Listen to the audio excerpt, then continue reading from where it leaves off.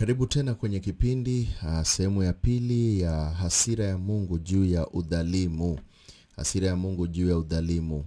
Uh, tumeona sehemu ya kwanza uh, maandiko yanazungumzia kuhusu e, ile tangulizi uh, kwenye kitabu cha Warumi wa kwanza. Kumekuwa na tangulizi ambapo tumeona Paulo akizungumza mambo mengi kwa lile kanisa la kule Rumi ambalo alizungumza akasema kuwa anawapenda sana na ana, ana, angependa sana kushirikiana nao waweze kuzungumza eh, ana kwa ana na waombeane pamoja na mambo mengi ambayo Paulo alizungumza kwenye sehemu ya utangulizi, na baada ya hapo tukaona Paulo alianza kuzungumza kuhusu watu ambao wanamghadhabisha Mungu. Akaanza kusema kunao watu ambao eh, e, ghadhabu ya Mungu imedhihirishwa kutoka mbinguni juu ya uasi wao na uovu wao ambao wengi wameufanya, na tumeona hiyo ikiwa mstari wa kumi na nane kuhusu e, hiyo ghadhabu. Hapo ndio tumeanza kupata utangulizi wa hiyo ghadhabu, na jambo moja ambalo tumeona ni kuwa watu wengi hawakupenda kufanya yale Mungu anataka, kwa sababu wengi wanajifanya kuwa hawaelewi kama Mungu yupo hawaelewi Mungu yupo, wanajifanya sisi hatujui kama Mungu ana exist. Kwa sababu gani? Kwa sababu tukienda mstari wa ishirini unatuambia reason, reason ya hawa watu kukataa kukubaliana na Mungu. Maandiko yanasema kwa sababu mambo yake yasiyoonekana tangu kuumbwa ulimwengu yanaonekana na kufahamika kwa kazi zake, yaani uweza wake wa milele na uungu wake, hata wasiwe na udhuru. Umeona vile maandiko yanasema, for the invisible things of him from the creation of the world are clearly seen being understood by the things that are made even his eternal power and godhead so that they are without excuse. Sasa kuna watu ambao wanasema oh, mimi niko excused, mimi waweza ni excuse kwa sababu mimi sielewi kama Mungu yupo. Nimeona watu wengi sana ukihubiria, unamwambia Mungu yupo, Mungu anakuja na tenda mambo ambayo inafaa e, mkubali Kristo. Anasema mimi siwezi amini kama Kristo yupo, nipe evidence nipe evidence, ilhali ndani ya mioyo yao wanajua evidence ipo kuwa Mungu yupo, kwa sababu wanaona vitu vyote ambavyo vipo saizi. Viliumbwa na mmoja anaitwa Mungu, na tunaona vizuri mambo yote yasiyoonekana tangu kuumbwa ulimwengu. Ya saizi yanaonekana. Na kufahamika kwa kazi zake, yaani uweza wake wa milele na uungu wake, hata wasiwe na udhuru. Watu wako na udhuru, a lot of excuses, kwa sababu hawataki Mungu. And you know the reason? Nimewaambia vizuri kuwa watu wengi wanajifanya kuwa ah, mimi sitaki mambo ya Mungu kwa sababu wanaogopa hukumu ya Mungu. Watu wanaogopa hukumu ya Mungu, ndio sababu wamekataana na Mungu, kwa sababu mtu akijua hukumu ya Mungu inakuja, wewe utaanza kufanya nini? Utaanza kubabaika. Hivyo basi inamaanisha wacha nijidanganyilie kuwa Mungu hayupo, Mungu wa nini na nini, eh, Mungu wa exist because nikisema God exists, basi niko kwa hatari ya hukumu wa Mungu. Na mstari wa kwanza unasema kwa sababu walipomjua Mungu hawakumtukuza kama ndiye Mungu wala kumshukuru, bali walipotea katika uzushi wao, na mioyo yao yenye ujinga ikatiwa giza. Mioyo yao yenye nini? Yenye ujinga ikatiwa giza. Because when they knew God, hawa watu walijua Mungu, walijua Mungu tena vizuri sana. Hawakumtukuza Mungu kama Mungu, hata hawakuwa na shukrani, bali walipokea walipotea katika uzushi wao, na mioyo yao yenye ujinga ikatiwa giza. Mungu akaamua, okay, hivi ndivyo mlikuwa mnataka. Haya basi, ndawatia giza mweze kuingia zaidi, mfanye yale ambayo mnataka, muingie muingie muingie. Unaona, ukiamua kufanya maovu, Mungu hata atakubembeleza siku za kwanza, siku za pili, siku za tatu. Baada ya hapo atasema, unajua ni vipi? Haya basi, fanya vile unataka, shida ni kwako wewe, fanya vile unataka vile unataka, mimi nimekuacha. Halafu tunaona baada ya mungu kuamua okay sawa fanyeni vile mnataka. Tunaona mstari wa ishirini na mbili unasema wakijinena kuwa wenye hekima walipumbazika. Unaona? Professing themselves to be wise they became fools. Wakakuwa wajinga wakapumbazika. Hmm? When they are trying to show oh mimi unajua mimi naelewa vizuri kuhusu tuliumbwa hivi. Sisi hatuku uh, I mean, hatukuumbwa. Sisi tulievolve. Sisi naona watu wengi wanasema mimi siamini mungu yupo kwa sababu uh, sayansi inasema hivi na inasema hivi. Well ni sawa. Lakini kumbuka hata paulo alizungumza na timotheo akamwambia usiingie kwenye uh, arguments za kisayansi. Kwa sababu hizi arguments hazina maana. Na akaita sayansi falsely so called hiyo ambayo wanasema ni sayansi. Ni kweli sawa. Lakini ushaijua kitu kimoja. Sayansi huwa tu inaonyesha vitu ambavyo tayari mungu ametengeneza. Sayansi haitengenezi chochote bali inaonyesha inaonyesha zile vitu mungu ametengeneza kwa mfano hewa haikutengenezwa na sayansi lakini tulijua vipi kuhusu oxygen tulijua vipi kuhusu hydrogen. Sayansi ilianza kutuambia eh, kuna oxygen kuna eh, hydrogen kuna cells kuna nini nini kuna hii na ile. Tulijua kupitia sayansi ni sawa. Sasa ukipata watu wanapigana makelele eh, sayansi ndio iliunda hii ndio iliunda hii vitu viliumbwa na mungu na ndio tunaona mstari wa 23 hapo unasema wakaubadili utukufu wa mungu asiye na uharibifu kwa mfano wa sura ya binadamu aliye na uharibifu na ya ndege na ya wanyama na ya vitambaavyo. Umeona hiyo picha?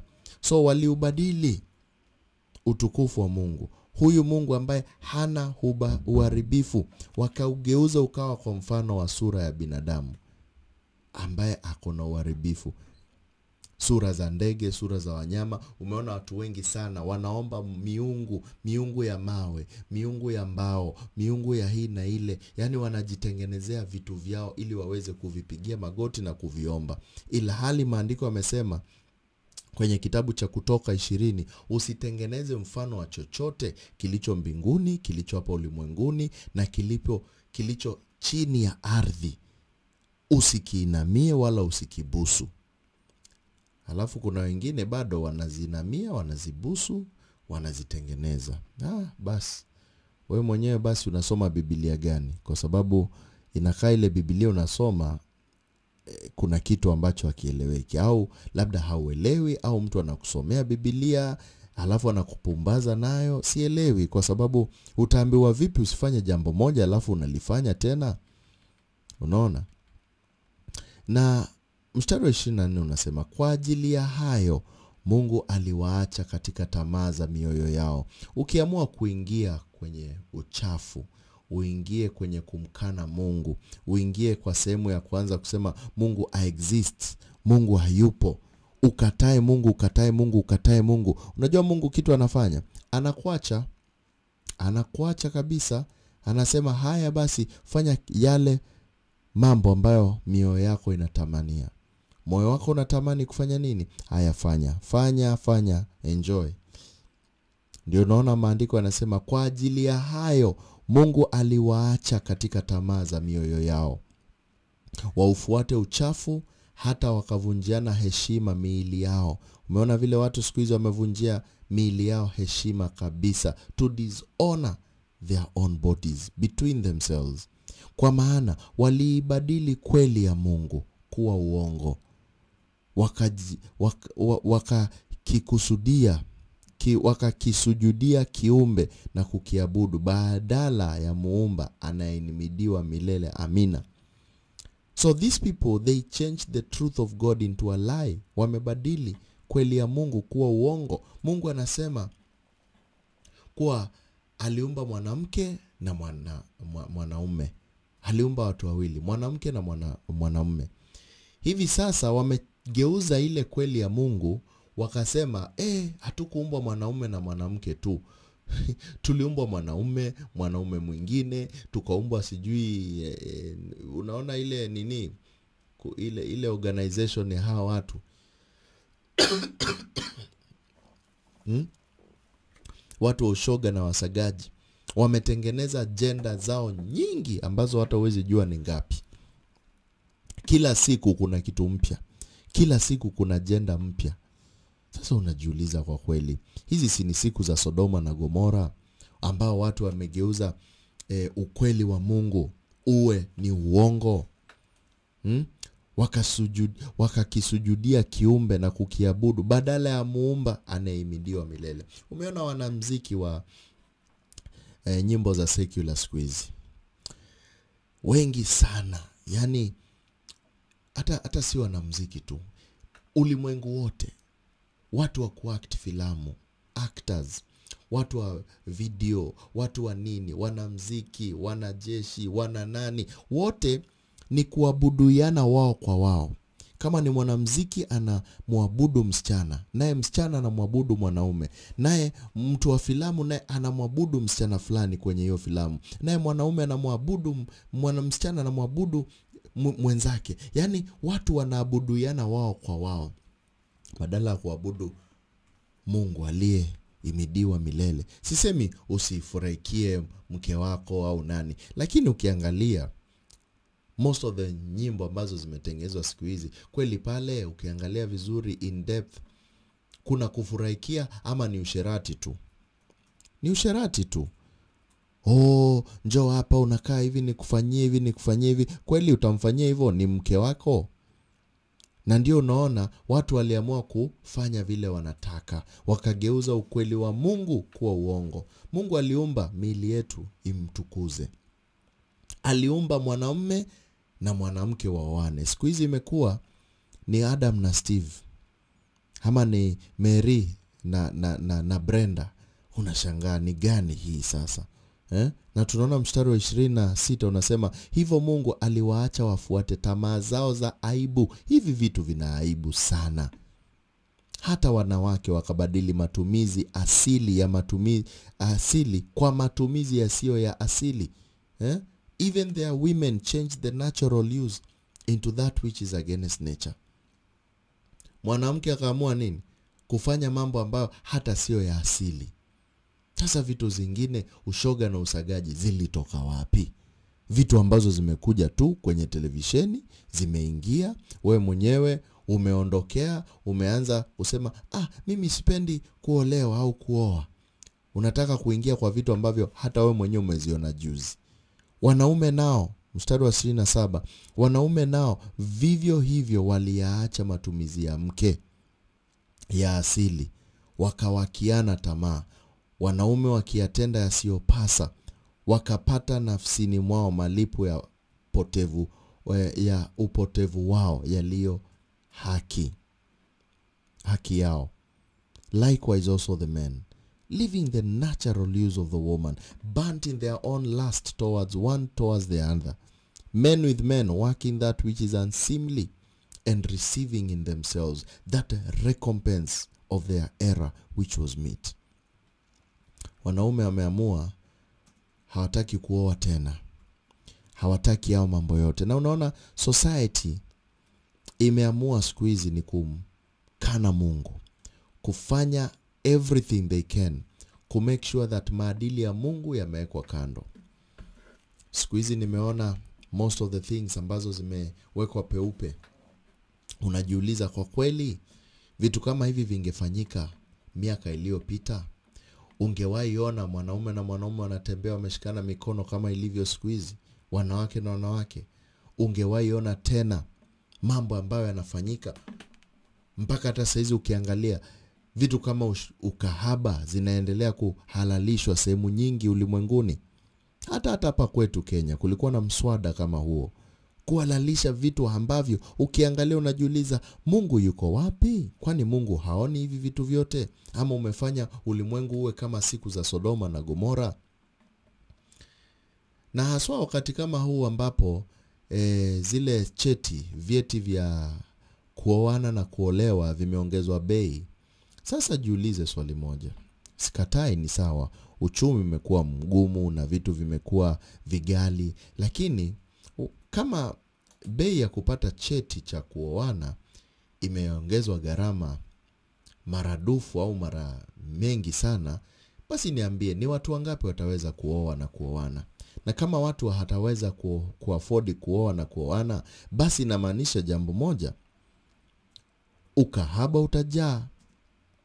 Ndoa nyingi zitakuwa hazina maana. Watu watasema hey, mi nimelipa hizo pesa zote mimi siwezi lipa hizo pesa zote.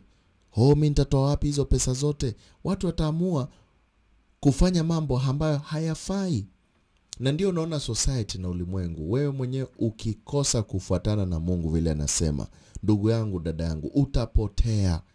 Na ukipotea kumbuka hukumu ya mungu inakuja. Na hiyo hukumu ya mungu ambayo inakuja inakuja kweli hapata kuwa wakati wa kuambia mungu hey, unajua ilikuwa imepitishwa mswada kuwa tungeweza kuoana na kuoa. Hey. marekani hivi vitu vishapitishwa. Unataka kuniambia kama vimepitishwa huko? Hakuna watu ambao wanasimama na mungu. Wapo bado. Basi kuwa, pamu, kuwa mmoja wa wale watu ambao wamesimama na mungu. Na usiwe mtu ambaye wa kupiga kelele na kusema oh mimi singeweza singefanya hivi mungu kwa sababu hili na lile lilisemwa. Kumbuka wakati wa nuhu wakati wa nuhu kulikuwa na mambo haya haya na inasemekana kuwa kulingana na eh, kulingana na, na, na studies ya kuwa kulikuwa almost 8 billion people wakati wa nuhu na only watu wanane peke yake ndio walioweza kukombolewa. Watu wanane kama mungu aliweza kuharibu ulimwengu mzima ambao ulikuwa na watu karibu bilioni nane. Kumbuka hiyo wakati watu wako wanakufa mapema. Kuwa nakata miaka karibu elfu moja. Je niambie mungu huyo huyo hawezi tena kuharibu huu ulimwengu ambao tunaishi leo? Unataka kuniambia hawezi akaharibu? Anaweza. Na ndio tunaona hapa mstari wa na, na, na, na saba tumesoma hapo wanaume waliofanya vile vile. Ishirini na nane unasema na kama walivyokataa kuwa na mungu katika fahamu zao mungu aliwaacha wafuate akili zao zisizofaa wayafanye yasiyowapasa. Ndugu yangu usikuwe mmoja wa hawa watu ambao wanafanya yasiyowapasa. Ufanye vitu vibaya na uelekee janam itakufaidi nini? Na nikija sehemu ya tatu ya mwisho nitakuonyesha baadhi ya vitu ambavyo watu wanazidi kufanya na wanajiletea ukali wa mungu. Wanajiletea hasira ya mungu. Na paulo alisema tukijua hasira ya mungu tunabembeleza wanadamu tunawabembeleza ndugu zangu kwa sababu asira ya mungu si ya kuchezea. Naje sehemu ya tatu. Usiondoke jina langu ni keith mwoki. Unaweza nipata kwenye facebook na tiktok na vile vile youtube. Nenda pale tafuta jina keith mwoki. Pia vile vile waweza nitumia ujumbe mfupi au nipigie simu. Nambari ni 07 32 641 146 0732 641 146 na ninaweza zungumza nayo wakati wowote. Keti nami usiondoke naja sehemu ya tatu